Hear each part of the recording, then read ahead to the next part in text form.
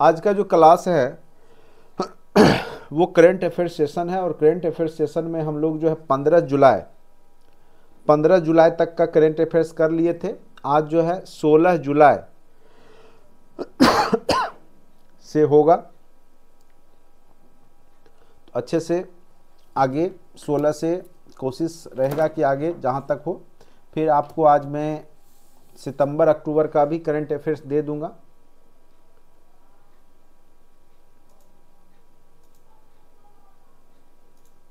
चलिए। क्वेश्चन है 16 जुलाई का। 16 जुलाई 2023 को स्किल इंडिया ने किस राज्य को नमदा कला को सफलतापूर्वक पुनर्जीवित किया है? स्किल इंडिया के द्वारा। नमदा कला। अब कहिएगा, ये कला कहाँ का है? तो याद रखिएगा, ये कला जम्मू कश्मीर का है, जो कि क्वेश्चन भी बहुत ही महत्वपूर्ण क्वेश्चन है। नमदा कला किस राज्य से जुड़ा हुआ है? तो याद रखिएगा, ये जो कला है, वो आपका किससे जुड़ा हुआ है? तो ये कला, नमदा कला जो है, ये जुड़ा हुआ है जम्मू कश्मीर से। और साथ साथ ये कला क्या चीज़ से संबंधित है तो याद रखिएगा, ये कला जो है कश्मीरी कालीन जो है, पारंपरिक कालीन है, जिसको कि भेड़ के ऊन से बनाया जाता है। और इस पर हाथ से जो है रंगीन कढ़ाई की जाती है, कढ़ाई। और बहुत सुंदर दिखता है, कश्मीरी कालीन कह सकते हैं इसको। तो नमदा कला क्या चीज़ से संबंधित है? तो याद रखिएगा, कश्मीरी कालीन से संबंधित है, जो कि वहाँ के लिए पारंपरिक कह सकते हैं कि यह कला, संस्कृति है, कला है, जो कि भेड़ के ऊन से बनाया जाता है। याद रखिएगा नमदा कला क्या चीज़ से संबंधित है? तो कश्मीरी कालीन से। कहाँ पर? तो जम्मू कश्मीर में। नेक्स्ट क्वेश्चन पर आते हैं।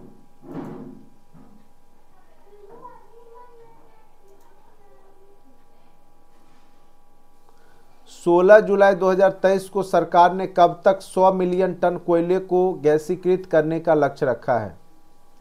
तो 2030 तक। अब कहिएगा, कोयले को गैसीकरण क्यों किया जाता है? कैसे किया जाता है? तो देखिए इसको फ्यूल गैस बनाने के लिए कि वह जले, ठीक है? ऐसा गैस बनाया जाए जिससे कि जिस प्रकार से जैसे मिथेन गैस है, एलपीजी है, सिलेंडर में भर के आता है, उसी प्रकार से कोयले से भी उसको जो है जला करके वायु और ऑक्सीजन वाष्प कार्बन डाइऑक्साइड के साथ अगर ऑक्सीकृत किया जाता है तो वहाँ पर आपको गैसीकृत हो जाता है, गैस के रूप में रूपांतरण हो जाता है।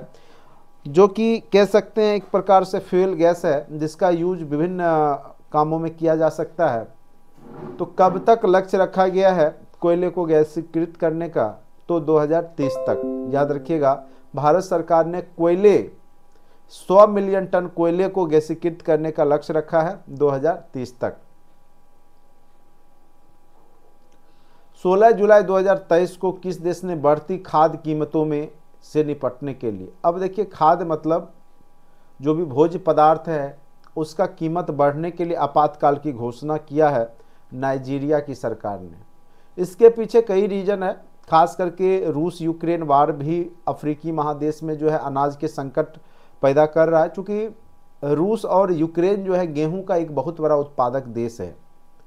और यहाँ से जो है अफ्रीका महादेश तक जो है गेहूँ खाद सामग्री का जो है पहुँच मतलब यहाँ से जो है निर्यात किया जाता है और अफ्रीकी महादेश तक पहुँचता है। लेकिन इन दिनों क्या हो रहा है कि युद्ध के कारण जो है ये खाद सामग्री वहाँ तक पहुँच नहीं पाती है।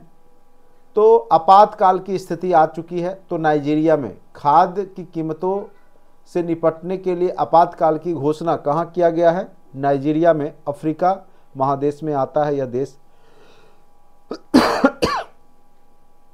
अब नेक्स्ट क्वेश्चन पे आते हैं। 16 जु, जुलाई 2023 को किस राज्य की कालेश्वरम परियोजना को फिर से चालू किया गया है? तो याद रखिएगा ये तेलंगाना राज्य सरकार के द्वारा कालेश्वर परियोजना की शुरुआत फिर से की गई है। अब कहिएगा कालेश्वरम परियोजना क्या है? तो यह एक प्रकार से कह सकते हैं कि सिंचाई परियोजना है। कालेश्वरम परियोजना क्या है? तो सिंचाई परियोजना है जिसमें कि तेलंगाना राज्य में जो है आपका गोदावरी नदी से, किस नदी से? तो गोदावरी नदी से सिंचाई की व्यवस्था की जाती है, नहर निकाल के। तो कालेश्वरम परियोजना के नाम से यह जाना जाता है। तो याद रखिएगा, गोदावरी नदी से संबंधित है कालेश्वरम परियोजना। या पूछ सकता है, किस नदी पे कालेश्वरम परियोजना चल रही है? तो गोदावरी नदी कहाँ पे? तो तेलंगाना। ठीक है 2014 में तेलंगाना और आंध्र प्रदेश का बंटवारा हुआ था तेलंगाना एक नया राज्य बना था। आप लोग को पता ही होगा। चलिए, उसके बाद है 16 जुलाई 2023 को भारतीय टीम ने चौसठवें अंतर्राष्ट्रीय गणित ओलंपियाड में कितने स्वर्ण पदक जीते हैं? तो भारत ने गणित का जो, पहले फिजिक्स का होता था, गणित का भी ओलंपियाड हो रहा है, उसमें दो स्वर्ण पदक जो है, भारत ने ही जीता है, चौसठवें अंतर्राष्ट्रीय गणित ओलंपियाड में भारत ने दो स्वर्ण पदक जीते हैं। याद रखिएगा। 17 जुलाई 2023 को जापान, दक्षिण कोरिया और किस देश ने त्रिपक्षीय मिसाइल रक्षा अभ्यास आयोजित किया है? तो साउथ कोरिया, जापान और अमेरिका, ये तीनों देश ने मिलकर के जो है मिसाइल, त्रिपक्षीय मिसाइल रक्षा अभ्यास आयोजित किया है। 17 जुलाई 2023 को अडानी समूह ने कहाँ भारत की पहली अंतर्राष्ट्रीय बिजली परियोजना शुरू किया तो गौतम अडानी की कंपनी, अडानी ग्रुप तो कहाँ पर यह शुरुआत किया गया है? तो याद रखिएगा, अंतर्राष्ट्रीय बिजली परियोजना अडानी कंपनी के द्वारा सर्वप्रथम झारखंड राज्य में शुरुआत किया गया है। किस राज्य में शुरुआत किया गया है? तो याद रखिएगा, झारखंड राज्य में, अडानी ग्रुप के द्वारा, ठीक है? 17 जुलाई तेईस का न्यूज़ है। भारत ने स्थानीय मुद्राओं का उपयोग को बढ़ावा देने के लिए किसके साथ एमओयू पर हस्ताक्षर किया है? समझौता किया है तो यूएई यूनाइटेड अरब अमीरात जिसकी राजधानी अबू धाबी है। तो वहाँ के साथ स्थानीय मुद्रा का, यानी देखिए, स्थानीय मुद्रा का यहाँ पे कॉन्सेप्ट यही है कि जैसे भारत के लोग अगर वहाँ गए तो वहाँ का स्थानीय मुद्रा खर्च करेंगे। चूँकि जैसे मान चलिए भारत वहाँ से पेट्रोल मंगाता है तेल मंगाता है यूएई से या कोई भी सम, सामग्री मंगाता है तो भारत उसको कैश में इंडियन रुपीज़ देगा। और जब उसको कोई सामग्री भारत से खरीदना होगा तो वह इंडियन रुपीज़ करेंसी है भारत को रिटर्न कर देगा। तो इससे दोनों में क्या होगा कि स्थानीय मुद्राओं का क्या होगा? आदान प्रदान होगा ठीक है? तो डॉलर का यूज़ कम से कम होगा और जिससे क्या होगा कि अंतर्राष्ट्रीय स्तर पर भारतीय मुद्रा की भी पहचान बनेगी। तो ये जो दोनों देश जो हैं यूएई और भारत ने इस पर स्थानीय मुद्राओं के उपयोग को बढ़ावा देने पर हस्ताक्षर साइन किया है। 17 जुलाई 2023 को बिम्बल्डन जो कि आपको पता होगा, टेनिस खेल बिम्बल्डन होता है। पुरुष एकल का खिताब किसने जीता है? बिम्बल्डन ऑस्ट्रेलियन ओपन, ये सब आपको पूछते रहता है। तो कार्लोस अल्कराज ने जो है विम्बल्डन 2023 का पुरुष एकल का खिताब जीता है। अत्यंत महत्वपूर्ण क्वेश्चन बनता है, बहुत ही वी आई क्वेश्चन विम्बल्डन 2023 का पुरुष एकल खिताब किसने जीता है? तो कार्लोस अल्कराज, ठीक है? कार्लोस अल्कराज ने विम्बल्डन जो पुरस्कार है, पुरुष एकल का, उसको जीता है। नेक्स्ट क्वेश्चन पे आते हैं। 17 जुलाई 2023 को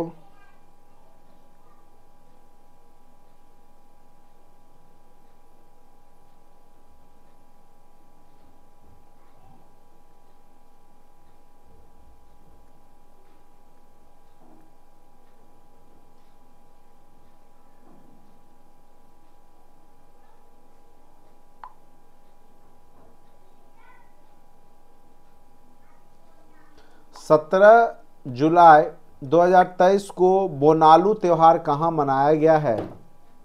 तो याद रखिएगा, जो बोनालू त्यौहार है, माँ काली की पूजा की जाती है इसमें, ये हैदराबाद में मनाया गया है। तो देखिए, त्यौहार जो थोड़ा अद्भुत नाम रहता है तो एग्ज़ाम में पूछने की संभावना रहती है। और देखिए, करेंट अफेयर्स में कौन क्वेश्चन कब पूछ देगा, कहना मुश्किल होता है। इसीलिए कोई इसमें non important unimportant non important ऐसा कुछ भी नहीं होता या इम्पोर्टेंट इतना जान लीजिए। जो क्वेश्चन पूछ दिया वो इम्पोर्टेंट हो गया। जो नहीं पूछता वो कोई इम्पोर्टेंस नहीं है। बस इतना ही जानिए इसीलिए हर एक जो न्यूज़ है, उसका जो महत्वपूर्ण है डेली बेसिस पे, वो मैं आपको सुना रहा हूँ, जिससे कि अगर कोई भी क्वेश्चन पूछे तो आपको ऐसा नहीं लगे कि सुना हुआ नहीं था। ठीक है? या देखा हुआ नहीं था। और एक बार में आपका करंट अफेयर्स सही नहीं होगा। कम से कम जो छः महीने का है तो अभी से पाँच से छः बार कम से कम रिपीट करना होगा। बार बार इसको रीड करना होगा थ्रू आउट जो पेज हमने दिया है आपको रीड आउट थ्रो आउट करते रहना है। एक बार बैठे तो एक महीना का कम से कम रीड कर लिए। इस प्रकार से दस बार आपको रिपीट करना होगा। तब जा करके आपका 80 परसेंट आपके साथ रहेगा और एग्ज़ाम में जब जाएँगे तो आपका क्वेश्चन बनेगा। ठीक है?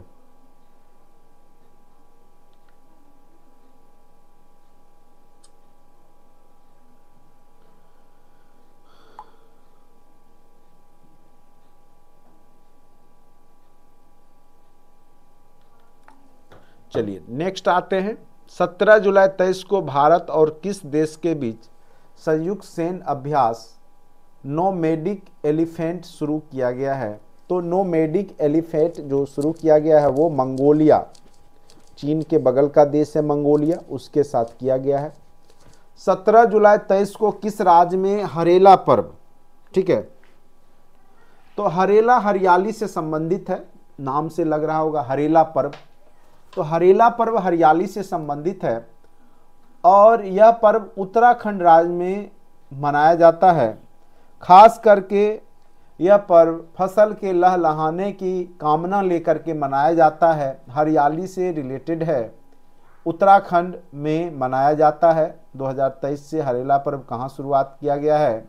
तो याद रखिएगा, उत्तराखंड राज्य। 17 जुलाई तेईस के सूचना अनुसार भारत के बाहर कहाँ आईआईटी दिल्ली का कैंपस स्थापित होगा?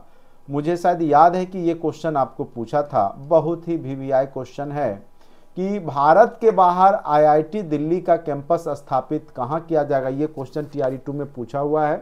किसी पेपर में मैंने देखा, ये सेम क्वेश्चन है अबू धाबी तो जो भी क्वेश्चन अगर आप खोजिएगा तो मिल जाएगा आपको इस लाइन में। कोई ना कोई क्वेश्चन आपको पूछा है, वो सब इसी लाइन सबसे पूछा, अबू धाबी, जो कि यूएई की कैपिटल है, ठीक है? 17 जुलाई 2023 को आईएसएसएफ विश्व चैंपियनशिप 2023 में शुभम बिस्ला ने कौन सा पदक जीता है? तो याद रखिएगा, शुभम बिस्ला जो हैं, उन्होंने स्वर्ण पदक जीता है, ठीक है? आईएसएसएफ। अब कहिएगा, ये क्या है आईएसएसएफ? तो इंटरनेशनल शूटिंग स्पोर्ट फेडरेशन, ये क्या है? इंटरनेशनल, अंतर्राष्ट्रीय हो गया, इंटरनेशनल, ठीक है, शूटिंग शूटिंग हो गया, जो बंदूक चलाते हैं, ठीक है, shooting, S H double O T I N G shooting, sport federation, ठीक है।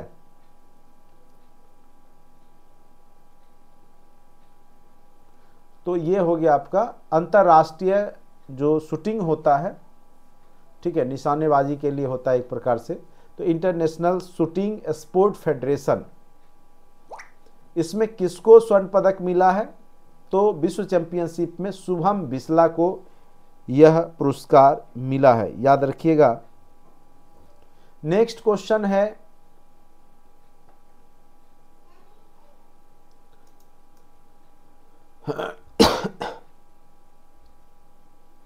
18 जुलाई 2023 को 18 जुलाई 2023 को, किस राज्य के गोपालपुर बंदरगाह ने कार्गो हैंडलिंग में राष्ट्रीय रिकॉर्ड बनाया है? कार्गो, जो सामान का, जो कह सकते हैं, आयात निर्यात से संबंधित है, कार्गो हैंडलिंग में राष्ट्रीय रिकॉर्ड बनाया है किस राज्य ने? तो जिसका कौन सा बंदरगाह है? तो गोपालपुर बंदरगाह, ओडिशा। ओडिशा का जो गोपालपुर बंदरगाह है, वो आयात निर्यात, यानी कार्गो हैंडलिंग में राष्ट्रीय स्तर का रिकॉर्ड बनाया है। अभी यह क्वेश्चन किस देश में स्थित लूबर संग्रहालय चर्चा में है? तो यह फ्रांस से संबंधित है। और ये जो संग्रहालय है, वो कला संस्कृति के लिए जाना जाता है। और ये अति प्राचीन जो फ्रांस की चौदहवीं, तेरहवीं, बारहवीं सदी का जो कह सकते हैं कला है, उसको इसमें जो है शामिल किया गया, जैसे मोनालिसा है, इन सब के चित्रों को, वहाँ पे जो है इस तरह के चित्रों को संग्रहालय में रखा गया है। तो लूवर संग्रहालय जो चर्चा में है, वो कहाँ पे है? तो याद रखिएगा, लूवर संग्रहालय जो है, वो फ्रांस में है। पूछ सकता है? 18 जुलाई तेईस को जॉ बाइडेन ने किस भारतीय अमेरिकी राष्ट्रपति को निर्यात परिषद में नियुक्त किया है? जॉ बाइडेन भारतीय अमेरिकी को जो व्यक्ति हैं, वो भारतीय अमेरिकी नागरिक हैं, यानी भारत के होंगे, अमेरिका में रह रहे हैं तो भारतीय अमेरिकी नागरिक को निर्यात परिषद जो होता है, एक्सपोर्ट कमिटी, उसका सदस्य बनाया है। तो समीना सिंह को ये जो है मेस्ट्रो कार्ड जो है, उसके संस्थापक हैं, ठीक है, समीना सिंह। नेक्स्ट है 18 जुलाई 2023 को किस देश ने दुनिया का पहला मिथेन से उड़ने वाला रॉकेट लॉन्च किया है? ये अत्यंत महत्वपूर्ण क्वेश्चन बन जाता है आपके बीपीएससी के लिए। तो मिथेन से उड़ने वाला जो रॉकेट लॉन्च किया है, वो चीन ने किया है। मिथेन आपके, मिथेन क्या? तो मिथेन आपको पता है, मिथेन गैस होता है सी एच फोर और इससे यह रॉकेट लॉन्च होगा, उड़ेगा। तो मिथेन से उड़ने वाला जो पहला रॉकेट पूरे विश्व में किस देश ने बनाया है तो याद रखना है आपको, चीन ने बनाया है। किस देश ने बनाया है? तो चीन ने बनाया है। देखिए, सारे महत्वपूर्ण क्वेश्चन हैं। जुलाई से लेकर के आपको जनवरी तक अच्छे से बार बार पढ़ना ही पड़ेगा और समझ करके, केवल पढ़ने से नहीं होगा, बल्कि समझ के पढ़िएगा, तब जाके आपका जो है एग्ज़ाम में बनेगा। ठीक है? चलिए। नेक्स्ट क्वेश्चन है। 18 जुलाई 2023 को किसने national multi dimensional poverty index जारी किया है? मल्टी डायमेंशनल पॉवर्टी मतलब गरीबी इंडेक्स है। किस संस्था ने जारी किया है? तो उस संस्था आयोग का नाम है NITI Aayog. National institutions for transforming India. NITI का फुल फॉर्म होता है N I T I. National institutions for transforming India. और इसकी स्थापना जो हुई है, वो एक जनवरी 2015 को हुई है, आप लोग को पता ही होगा। इसके जो अभी कह सकते हैं, चेयरपर्सन जो हैं, वो प्रधानमंत्री ही होते हैं। माननीय नरेंद्र मोदी जी अभी इसके चेयरपर्सन हैं, और वहीं वाइस चेयरपर्सन पूछे तो सुमन बेरी, ये क्वेश्चन पूछा हुआ है। सुमन बेरी, इसके वाइस ठीक है, चेयरपर्सन है, और वहीं सीईओ भी पूछ सकता है। सीईओ कौन है नीति आयोग के? तो B V R Subrahmanyam. Subrahmanyam याद रखिएगा, बस उससे काम चल जाएगा। Subrahmanyam. B V R Subrahmanyam, इसके सीईओ हैं। सुमन बेरी, इसके वाइस चेयर चेयरपर्सन हैं। और मेन चेयरपर्सन इसके नरेंद्र मोदी जी।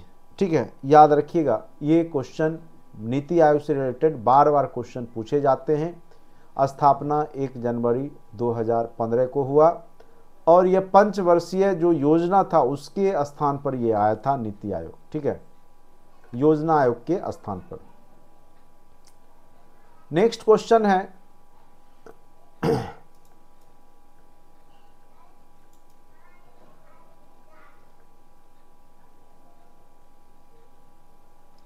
19 जुलाई 2023 को जारी निर्यात तैयारी सूचकांक, निर्यात मतलब समझ ही रहे एक्सपोर्ट करने में कौन सा राज्य अव्वल रहा? तो उस राज्य का नाम है तमिलनाडु, जो कि अव्वल रहा। ठीक है, कौन सा राज्य अव्वल रहा? तो तमिलनाडु अव्वल रहा। 19 जुलाई 2023 को जारी हैनले पासपोर्ट इंडेक्स। ये क्वेश्चन कई बार पूछेगा कि हेनले पासपोर्ट इंडेक्स के अनुसार सबसे शीर्ष स्थान पर कौन सा देश है? तो वो है सिंगापुर। यानी पासपोर्ट का वैल्यू है वहाँ के नागरिकों के लिए। सिंगापुर का जो पासपोर्ट है, वो कहीं भी अगर जाते हैं तो उनको रोक ठोक मनाही नहीं होगी। तो इनका, इसका स्थान जो है, वो एक नंबर पे आता है सिंगापुर का। ठीक है? वही भारत का जो रैंक है वो 2024 में हेनले पासपोर्ट इंडेक्स के अनुसार अस्सीवा रैंक है भारत का। अस्सी, पहले पचासी था, अब कुछ घटा है। एटीनथ रैंक पे भारत है इंडिया। हेनले पासपोर्ट इंडेक्स के अनुसार अत्यंत ही महत्वपूर्ण क्वेश्चन यहाँ से पूछा जा सकता है आपके एग्ज़ाम में। क्वेश्चन तो रहेंगे सारे इन्हीं पीडीएफ से। इस बात की गारंटी है लेकिन अब ये बात है कि आप लोग कितना इसको याद करके रखते हैं, ये सबसे बड़ी बात होगी, ठीक है? हेनले पासपोर्ट इंडेक्स पासपोर्ट का इंडेक्स जारी करता है रैंक जारी करता है, किस देश का पासपोर्ट बेहतर है, जो कहीं बिना रोक ठोक बिना इसके कहीं आ जा सकते हैं वहाँ के नागरिक तो उसको लेकर के यहाँ पे पासपोर्ट इंडेक्स जारी किया जाता है हेनले के द्वारा, ठीक है? और कहिएगा कि सबसे लास्ट रैंक किसका है? तो अफ़गानिस्तान का। सबसे पहला रैंक किसका है? तो याद रखिएगा, सिंगापुर का है। सबसे अंतिमा जो रैंक है, वो आपका अफ़गानिस्तान का है। ठीक है? 19 जुलाई 2023 को भारत और अमेरिका के बीच स्वच्छ ऊर्जा साझेदारी मंत्री स्तरीय बैठक कहाँ आयोजित की गई? तो स्वच्छ ऊर्जा, जैसे पवन ऊर्जा हो गया, सौर ऊर्जा हो गया, ये सब क्या है? स्वच्छ ऊर्जा के स्रोत हैं। तो मंत्री स्तरीय बैठक कहाँ पर हुई है? तो नई दिल्ली में हुई है। कहाँ पे हुई है? तो नई दिल्ली में हुई है। 19 जुलाई 2023 को फ्रांसीसी सरकार द्वारा किस भारतीय संगीतकार को सेवेलियर अवार्ड प्रदान किया गया है? ठीक है। फ्रांसीसी सरकार के द्वारा भारतीय संगीतकार को मिला है सेवेलियर अवार्ड। तो सेवेलियर अवार्ड मेन रूप से जो दिया जाता है, वो जैसे कला संस्कृति में ही जैसे क्राफ्ट व्राफ्ट जो बनाते हैं, हैंडक्राफ्ट बनता है जैसे हस्तकला जिसको बोलते हैं, हस्तशिल्प, कोई डिज़ाइन बनाए हैं उसके लिए दिया जाता है, डिज़ाइन क्राफ्ट के लिए दिया जाता है। डिज़ाइनिंग एंड जो है क्राफ्ट, इंडियन क्राफ्ट, खास करके भारतीय जो शिल्प उद्योग है, उसमें जो डिज़ाइन वगैरह बनाते हैं, उनको सेवेलियर अवार्ड दिया जाता है। और ये फ्रांसीसी सरकार के द्वारा दिया जाता है। ठीक है तो अरुणा साईराम और शशांक सुब्रमण्यम। लेकिन यहाँ लिखा हुआ भारतीय संगीतकार को। ठीक है तो संगीत के क्षेत्र में, कला में कुछ एक्स्ट्रा इन्होंने किया होगा। उनका नाम है अरुणा साईराम और शशांक सुब्रमण्यम। ऐसे जो सेवेलियर अवार्ड मेन रूप से हैंडक्राफ्ट के लिए दिया जाता है डिज़ाइन उजाइन जो बनाते हैं उनके लिए। यहाँ संगीतकार शब्द दिया हुआ तो ये संगीतज्ञ होंगे। चलिए, जहाँ मुझे जानकारी था, मैंने आपको बताया। 19 जुलाई 2023 को किस कंपनी ने बीमा के लिए दुनिया का पहला generative AI artificial intelligence tool launch किया है? बीमा के लिए, ठीक है? तो सिंपली काई, बीमा करने के लिए आदमी की ज़रूरत नहीं होगी। डायरेक्ट मशीन के माध्यम से जो है ए आई टूल के माध्यम से सिंप्लीकाई से ये हो जाए। सिंप्लीफाई होगा। सॉरी सिंप्लीफाई ठीक है? सिंप्लीफाई 19 जुलाई 2023 को एडीबी एशियन डेवलपमेंट बैंक ने चालू वित्त वर्ष में भारत की वृद्धि दर, ये बहुत इंपॉर्टेंट है। एशियन डेवलपमेंट बैंक के अनुसार भारत का जो चालू वर्ष में जो वृद्धि दर है वो कितना प्रतिशत रहने वाला है?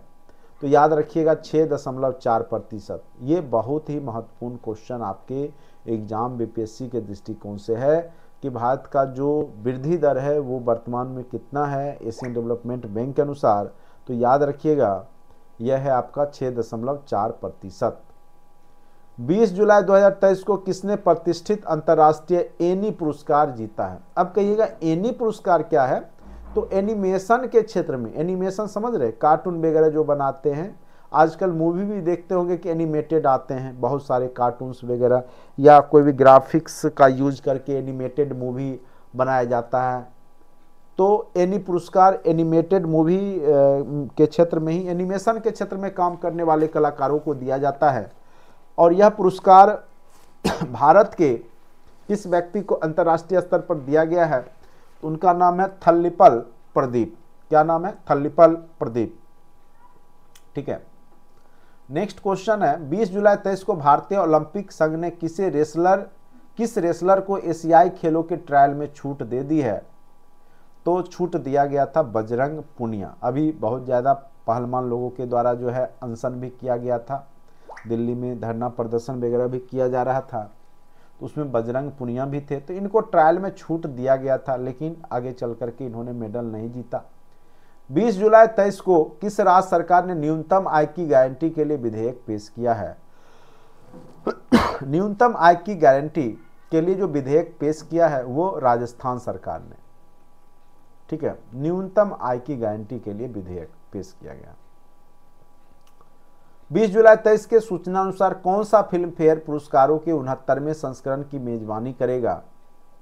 तो गुजरात जो है उनहत्तरवा जो फ़िल्म फेयर पुरस्कार दिया जाएगा वो गुजरात में ही उसका जो है आ, कह सकते हैं फ़िल्म फेयर पुरस्कार का संस्करण उनहत्तरवा का मेजबानी होगा तो वो गुजरात राज्य में होगा याद रखिएगा। 2023 20 जुलाई 2023 को किस राज्य सरकार ने तेंदु पत्ता अब कहिएगा तेंदु पत्ता का क्या यूज़ होता है? तो मेन रूप से तेंदु पत्ता का यूज़ बीड़ी बनाने में होता है, बीड़ी। बीड़ी आप लोग सिगरेट का ही कह सकते हैं, पहले लोग बीड़ी का प्रयोग ज़्यादा करते थे।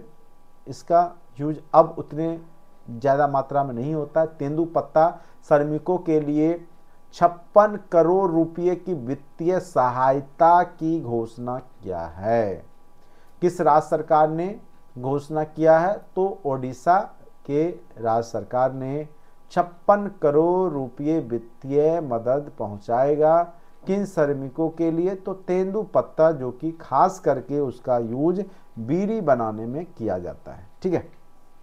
अब नेक्स्ट क्वेश्चन 21 जुलाई 2023 को किस राज्य के मुख्यमंत्री ने सशक्त महिला ऋण योजना शुरू की है? तो किस राज्य के मुख्यमंत्री ने सशक्त महिला ऋण योजना का शुरुआत किया है?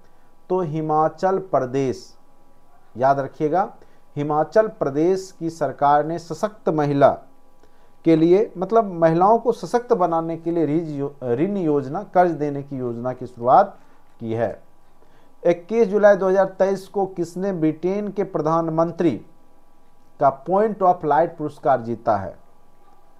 तो ब्रिटेन के प्रधानमंत्री का पॉइंट ऑफ़ लाइट पुरस्कार मोक्ष राय को दिया गया है।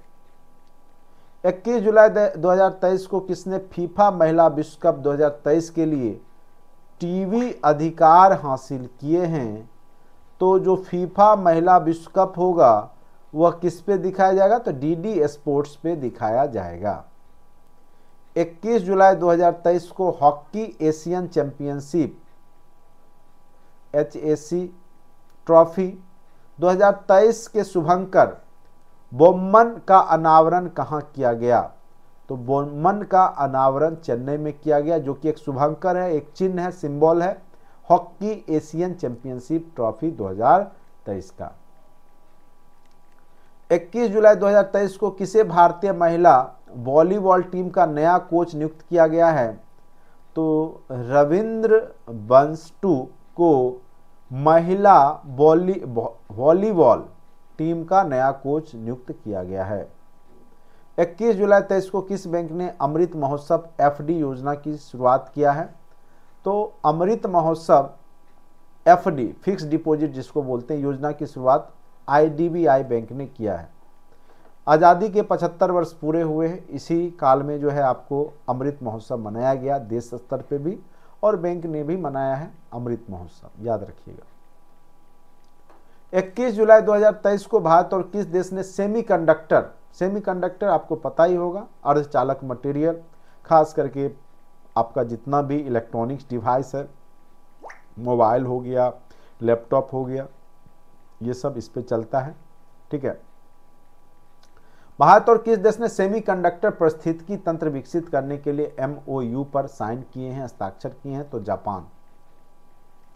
21 जुलाई 2023 को नॉर्थ चैनल पार करने वाले सबसे कम उम्र के तैराक कौन बने? ये मात्र 18 साल के तैराक हैं, अंशुमन झिंगरन, जिसने कि नॉर्थ चैनल को जो है पार कर लिया, तैर करके, ठीक है? और ये नवी मुंबई के कह सकते हैं, तैराक हैं, जिन्होंने ऐसा कारनामा किया है। तो कह सकते हैं कि अपने आप में एक बहुत बड़ा उपलब्धि है इनके नाम से। ठीक है, ये याद रखिएगा आप लोग। अंशुमन झिंगरन जो हैं, वो नवी मुंबई से आते हैं 18 वर्ष के तैराक हैं, जिन्होंने नॉर्थ चैनल को समुद्र का एरिया है, नॉर्थ चैनल, उसको जो है तैर करके पार किया है। ठीक है, कम उम्र में।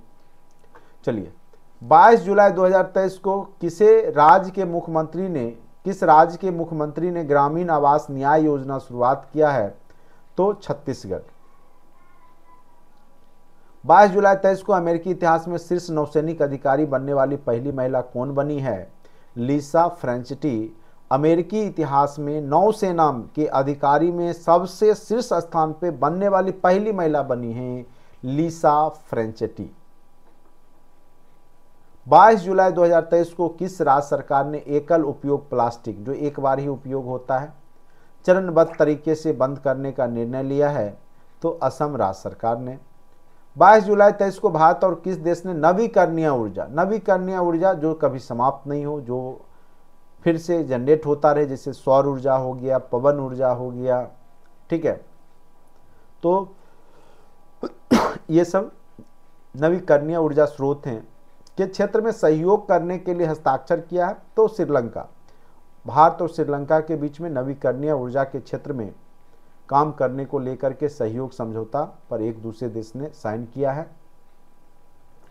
तेईस जुलाई 2023 को किस राज्य सरकार ने एक लाख रुपए तक का ब्याज मुक्त फ़सल ऋण शुरू किया है?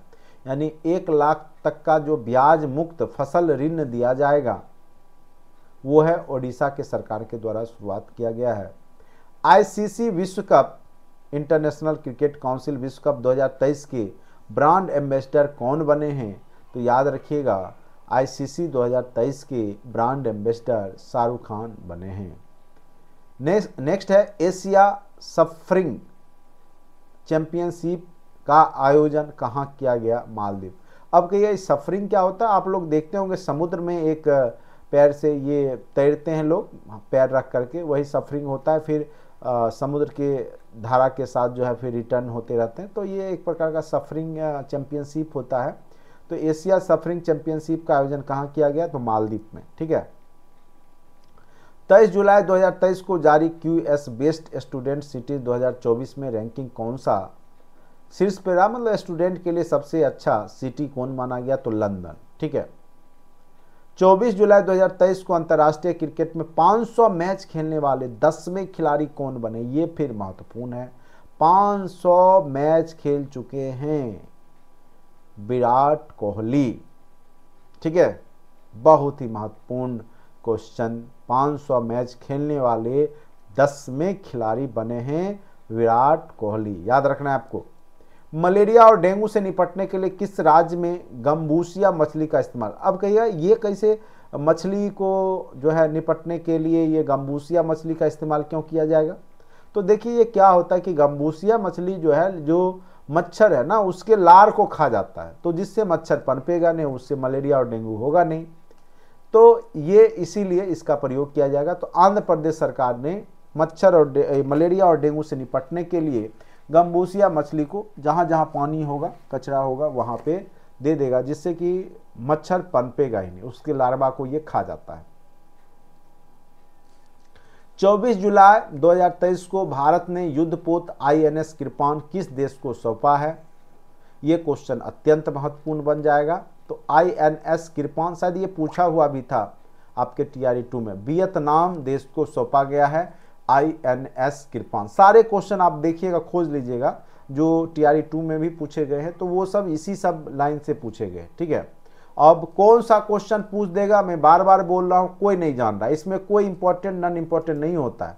पढ़िएगा तो बार बार हर एक चीज़ को हर एक लाइन को, जैसे मैं अभी पढ़ रहा हूँ, सुना रहा हूँ आपको, आप लोग भी उसी प्रकार से 10 बार कम से कम, अभी नहीं, लेकिन एग्ज़ाम का जब एडमिट कार्ड डाउनलोड हो जाए, उसके बाद आप लोग 10 बार कम से कम पूरे छः महीना का करेंट अफेयर ज़रूर पढ़िएगा, ठीक है? देखिए, ये सब सेक्शन आप स्कोर अगर कर लेते हैं तो आप ऐसे ही रिज़ल्ट में घुस जाइएगा, ठीक है? 24 जुलाई 2023 को जी ट्वेंटी आपदा जोखिम न्यूनीकरण, कार समूह की अंतरिम बैठक जो हुई, कहाँ पे हुई? तो चेन्नई में हुई। 25 जुलाई 2023 को किसने नॉर्डिया ओपन का खिताब जीता है?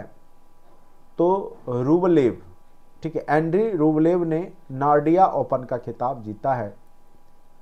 25 जुलाई तेईस को किस राज्य सरकार ने सेमीकंडक्टर नीति का अनावरण किया है? सेमीकंडक्टर वही अर्चालक मटेरियल वाला नीति तो गुजरात सरकार ने। किस राज्य में पहला ट्रांसजेंडर, जो थ्री जेंडर जिसको थर्ड जेंडर बोलते हैं, जन्म प्रमाण पत्र जारी किया गया है राजस्थान। अभी तक थर्ड जेंडरों को प्रमाण पत्र, जन्म प्रमाण पत्र नहीं दिया जाता था। लेकिन पहला राज्य बन चुका है राजस्थान, जो कि अब थर्ड जेंडर का भी जन्म प्रमाण पत्र जारी करेगा। ठीक है? 26 जुलाई 2023 को किसने ब्रिक्स ब्रिक्स में कहिए कौन कौन सा देश है? तो B for Brazil, R for Russia, I for India, China, South Africa. तो ये जो ब्रिक्स देश है, समूह में शामिल होने के लिए आवेदन किया है तो अल्जीरिया ने इसमें शामिल होने के लिए आवेदन किया है। 26 जुलाई को किस दिवस के रूप में मनाया जाता है? तो याद रखिएगा, जो 26 जुलाई है, अत्यंत महत्वपूर्ण दिवस के रूप में है। कारगिल विजय दिवस के रूप में मनाया जाता है। ये महत्वपूर्ण क्वेश्चन आपके एग्ज़ाम के लिए महत्वपूर्ण हो जाता है। भी चूँकि जो भी तिथि होते हैं दिवस, और ख़ास करके नए नए दिवस जो अभी मनाए जा रहे हैं, उससे क्वेश्चन एग्ज़ाम में ज़्यादा पूछे जा रहे हैं, ठीक है? तो याद रखना है आपको, कारगिल विजय दिवस 26 जुलाई को मनाया जाता है।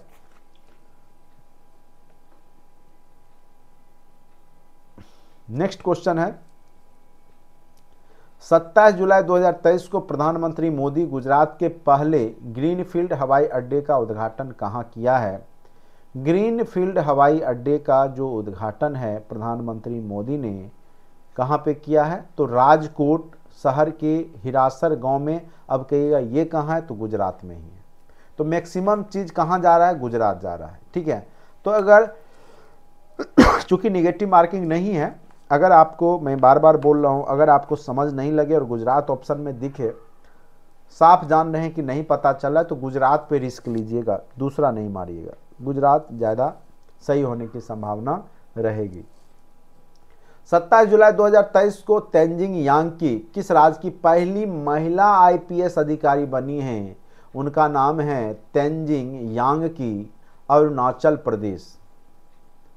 तेंजिंग यांग की किस राज्य की पहली महिला आईपीएस अधिकारी बनी हैं? तो नाम याद रखिएगा, अरुणाचल प्रदेश की पहली आईपीएस अधिकारी बनी हैं तेंजिंग यांग की। 27 जुलाई 2023 को केंद्रीय रिज़र्व पुलिस बल ने अपना कौन सा स्थापना दिवस मनाया है? जो सेंट्रल रिज़र्व पुलिस फोर्स है, उसने अपना पच्चा, पचासीवा जो है, स्थापना दिवस मनाया है। किस देश की संसद में न्यायपालिका के अधिकार छीनने वाला बिल पास किया गया है? यानी न्यायपालिका के भी अधिकार छीन, छीना जा सकता है मंत्रालय के द्वारा। तो इजराइल में ऐसा अधिकार पास किया गया है। 27 जुलाई 2023 को कहाँ के बायकुला रेलवे स्टेशन को यूनेस्को का सांस्कृतिक सांस्कृतिक विरासत का पुरस्कार मिला है तो बायकुला रेलवे स्टेशन मुंबई में है, जिसको यूनेस्को के द्वारा सांस्कृतिक विरासत का पुरस्कार दिया गया है। दुनिया का सबसे बड़ा म्यूज़ियम युगे युगीन भारत का निर्माण किस शहर में किया जाएगा? युगे युगीन भारत। ठीक है? का निर्माण किस शहर में किया जाएगा? तो नई दिल्ली में। युगे युगीन भारत का निर्माण कहाँ किया जाएगा? तो नई दिल्ली में किया जाएगा। 28 जुलाई 2023 को किस अफ्रीकी देश में सेना ने तख्ता पलटकर राष्ट्रपति को पद से हटा दिया? तो नाइजर। ठीक है? नाइजीरिया, नाइजर एक ही है। भी याद रखिएगा, नाइजर या नाइजीरिया। वहाँ पर तख्ता पलट करके राष्ट्रपति को ही पद से हटा दिया गया है।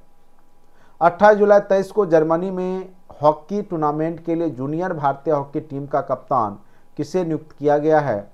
तो जर्मनी में जो हॉकी टूर्नामेंट होगा, वो भारतीय टीम के जो कैप्टन बने हैं, उनका नाम है उत्तम सिंह।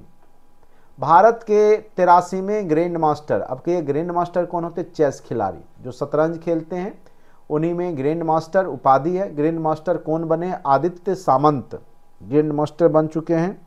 याद रखिएगा, आदित्य सामंत ग्रैंड मास्टर बने हैं। तिरासी में ग्रैंड मास्टर हैं।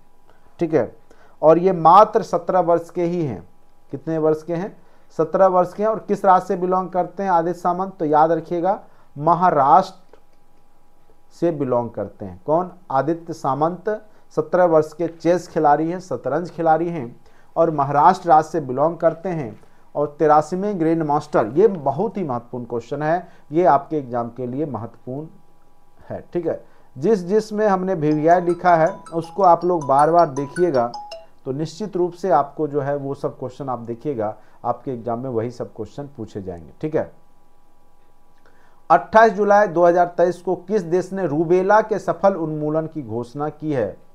रूबेला एक बीमारी है तो भूटान ने उसके रूबेला जो प्रकोप है, एक वायरस जनित रोग है, उसके उन्मूलन की घोषणा किया है भूटान। मेरी माटी, मेरा देश अभियान किस मंत्रालय की एक पहल है? ये फिर महत्वपूर्ण है क्वेश्चन। वीवीआई का स्क्वायर है ये। इस तरह के क्वेश्चन बीपीएससी के लिए फेवरेट हैं। मेरी माटी, मेरा देश अभियान किस मंत्रालय की एक पहल है? तो ग्रामीण विकास मंत्रालय। मेरी माटी मेरा देश अभियान किस मंत्रालय की एक पहल है? तो याद रखिएगा, ग्रामीण विकास मंत्रालय की पहल है, मेरा माटी, मेरा देश। 29 जुलाई तेईस को किस देश ने लिंग परिवर्तन और ट्रांसजेंडर विवाह पर प्रतिबंध लगा दिया है? ये भी फिर महत्वपूर्ण क्वेश्चन बन जाता है। यानी वहाँ पे देखा गया कि बहुत सारे जो लोग थे, वो अपना लिंग परिवर्तन कर रहे थे। और ट्रांसजेंडर विवाह का भी प्रचलन बढ़ चुका था। तो इस कारण से जो है, रूस सरकार ने ऐसा प्रतिबंध लगा दिया कि लिंग परिवर्तन नहीं कर सकते हैं और ट्रांसजेंडर के साथ विवाह पर प्रतिबंध लगा दिया। ठीक है तो रूस की सरकार ने ऐसा किया है। 29 जुलाई 2023 को कमलजीत ने आईएसएसएफ तो international shooting sport federation ISSF होता है। जूनियर शूटिंग विश्व कप चैंपियनशिप 2023 में कौन सा पदक जीता है? तो कमलजीत ने स्वर्ण पदक जीता है। ठीक है, याद रखना है। 29 जुलाई 2023 को नागालैंड से राज्यसभा की अध्यक्षता करने वाली, ये फिर बहुत ही महत्वपूर्ण क्वेश्चन है। क्योंकि नागालैंड की पहली महिला मंत्री बन चुकी हैं, राज्यसभा में अध्यक्षता करेंगी। उनका नाम है फांग नोन कोन्याक। क्या नाम है?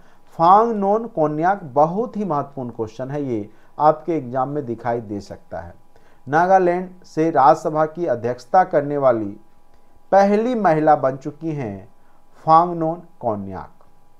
29 जुलाई तेईस को वर्ल्ड सिटीज़ कल्चर फोरम में शामिल होने वाला पहला भारतीय शहर कौन बना है तो Bengaluru. World cities culture forum में शामिल होने वाला भारत का पहला शहर बना है आपका बेंगलुरु, ठीक है? 29 जुलाई 2023 को किस भारतीय महिला खिलाड़ी को आचार संहिता उल्लंघन के कारण निलंबित कर दिया गया है? तो हरमन प्रीत कौर को आचार संहिता उल्लंघन के कारण निलंबित किया गया है। 29 जुलाई 2023 को भारत की पहली ऑनलाइन गेमिंग एकेडमी कहाँ खोली गई? ठीक है, एकेडमी है, ऑनलाइन गेमिंग एकेडमी है। कहाँ खोला गया है? तो ये मध्य प्रदेश में खोला गया है। उनतीस जुलाई तेईस को कहाँ डॉक्टर आपके गाँव में पहल शुरू किया गया है? तो डॉक्टर आपके गाँव में पहल जम्मू कश्मीर में शुरुआत किया गया है। 29 जुलाई 2023 को किसने प्रतिष्ठित माइकल फ्रैंकलिन साहित्यिक पुरस्कार जीता है? उनका नाम है शंकरी चंद्रन, जो कि एक नोवलिस्ट हैं। नोवेल लिखते हैं शंकरी चंद्रन, महिला हैं। ठीक है, याद रखिएगा। नोवेल लिखते हैं और इनको माइकल्स फ्रैंकलिन, ठीक है, माइकल्स फ्रैंकलिन साहित्यिक पुरस्कार मिला है, ठीक है, नाम है शंकरी चंद्रन।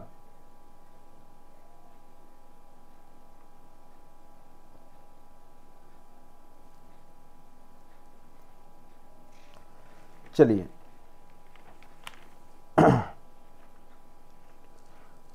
नेक्स्ट क्वेश्चन पे आते हैं। 29 जुलाई 2023 को किस बैंक ने एनआरआई नॉन रेसिडेंस इंडियन महिलाओं के लिए एनआर, बचत खाता योजना शुरू करने की घोषणा किया है? तो फेडरल बैंक, जो कि अमेरिकी बैंक है। 30 जुलाई 2023 के सूचना अनुसार भारतीय सिनेमा का राइजिंग ग्लोबल सुपरस्टार किसे मिलेगा? तो कार्तिक आर्यन को यह पुरस्कार दिया गया है फ़िल्म के क्षेत्र में। 30 जुलाई 2023 को किस राज्य सरकार ने अश्वमेधा देवी राज्य महिला आयोग अध्यक्ष नियुक्त किया गया है? ये क्वेश्चन पूछ सकता है, भी भी आया है, चूँकि बिहार का है। अश्वमेधा देवी, अश्वमेघा होगा। अश्वमेघा देवी को राज्य महिला आयोग का अध्यक्ष नियुक्त किया गया है। इस क्वेश्चन को हम अति महत्वपूर्ण मानते हैं, अति महत्वपूर्ण क्योंकि बिहार से संबंधित है। तो अश्वमेघा देवी, याद रखिएगा, नाम है अश्वमेघा देवी, जिसको राज्य महिला आयोग, जो बिहार राज्य है, बिहार राज्य महिला आयोग के अध्यक्ष के रूप में नियुक्त किया गया है। उनका नाम है अश्वमेघा देवी। चलिए नेक्स्ट 30 जुलाई तेईस को जारी डिलाइट इंडिया के आंकड़ों के अनुसार डिलाइट इंडिया के आंकड़ों के अनुसार 31 मार्च 2024 को समाप्त होने वाले चालू वित्त वर्ष में भारत की विकास दर कितना से कितना रहने की संभावना है तो 6 से 6.3 प्रतिशत। एशियन डेवलपमेंट ने कहा था 6.4 प्रतिशत। तो ये आप देखिएगा वेरी करेगा। अलग अलग संस्था अपने अपने हिसाब से भारत के विकास दर, जो जीडीपी है, उसको बताती है। तो लगभग 6 से साढ़े छः के बीच वाला ही सही होगा। तो अपना देखिएगा, अगर इस तरह के क्वेश्चन हो तो कौन सी संस्था के बारे में पूछता ये भी ध्यान देना है आपको।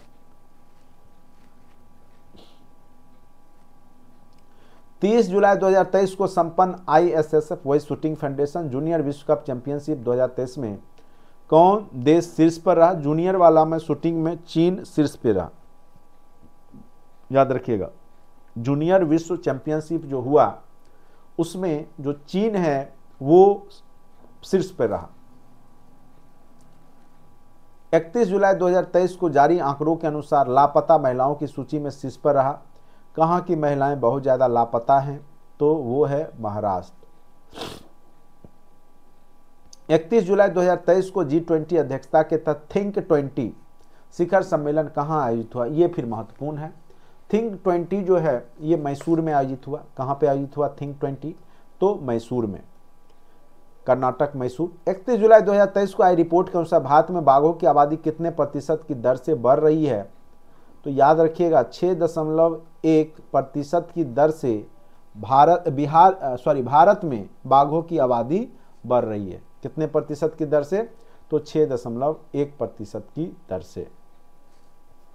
कौन सा राज्य भारत का पहला मत्स्य पालन अटल इनक्यूबेशन सेंटर स्थापित करेगा? तो इनक्यूबेशन सेंटर स्थापित करने वाला वह पहला राज्य होगा केरल। ठीक है? याद रखिएगा इनक्यूबेशन सेंटर जो है खोला जाएगा कहाँ पे? तो केरल में। ठीक है? अटल इनक्यूबेशन सेंटर बहुत ही महत्वपूर्ण है। पूछा जा सकता है आपके एग्ज़ाम में। मत्स्य पालने मतलब मछली पालने का अटल इनक्यूबेशन सेंटर बनाया जाएगा केरल में। 31 जुलाई 2023 को अमेरिकी वित्त एजेंसी की उप मुख्य कार्यकारी अधिकारी कौन बनी है तो उनका नाम है निशा विश्वाल। 31 जुलाई 2023 को भारतीय सेना ने कहा, अमृत सरोवर का उद्घाटन किया है। तो अमृत सरोवर का उद्घाटन अरुणाचल प्रदेश में किया गया है, जो कि भारत का सबसे पूर्वोत्तम, पूर्वोत्तर राज्य में आता है, अरुणाचल प्रदेश। वहीं पे अमृत सरोवर का उद्घाटन भारतीय सेना ने किया है। ठीक है?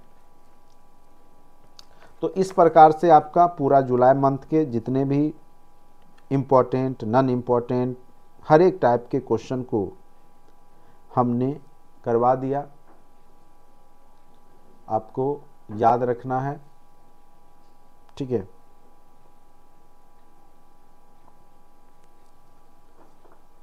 और निश्चित रूप से क्वेश्चन जुलाई मंथ से अगस्त मंथ से जो भी मंथ में पढ़ा रहा हूँ, निश्चित रूप से आपके एग्ज़ाम में देखने को मिलेगा। जुलाई से जनवरी तक के करेंट अफेयर्स को आप लोग बार बार रिपीट कीजिएगा। जुलाई कंप्लीट हुआ है। अगस्त को का भी आपको दे दिया गया है। आज मैं आपको सितंबर और अक्टूबर मंथ का भी दे देता हूँ। आप लोग भी उसको रीड करते रहिए। बार बार रीड करने से ही आपका करेंट अफेयर्स अपडेट होगा और आपके पास रहेगा। ठीक है?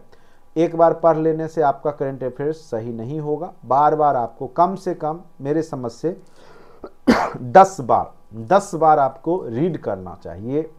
बार बार रीड करना चाहिए जब तक कि उसका 80 परसेंट क्वेश्चन आप बिना क्वेश्चन पढ़े जवाब ना दे। दें ठीक है? तब जाके आप आठ में से पाँच छः क्वेश्चन उम्मीद कर सकते हैं कि आपके सही हो जाएँगे। सबसे टफ काम होता है करेंट अफेयर्स को पढ़ करके याद रखना। समझना तो दूर। सबसे बड़ी बात है कि याद रह जाए, उसका आंसर ऑप्शन में भी ढूंढ लें। ये सबसे बड़ी बात है, ठीक है? और उसके लिए आपको कम से कम दस बार मेरे समझ से रीड करना ही पड़ेगा। इसका कोई उपाय नहीं, कोई ट्रिक टेक्निक नहीं है। जितना मेहनत कीजिएगा, उतना करेंट अफेयर्स आपके पास होगा, ठीक है? उम्मीद करते हैं कि क्लास आपको समझ में आया होगा।